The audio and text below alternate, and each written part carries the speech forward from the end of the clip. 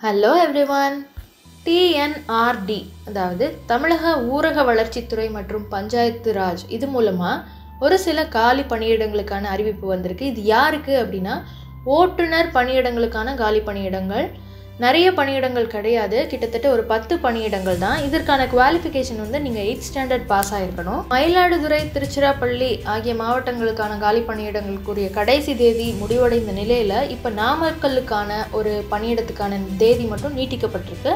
முப்பத்தி ஒன்று ஜனவரி வரைக்கும் நீங்கள் அப்ளை பண்ணலாம்.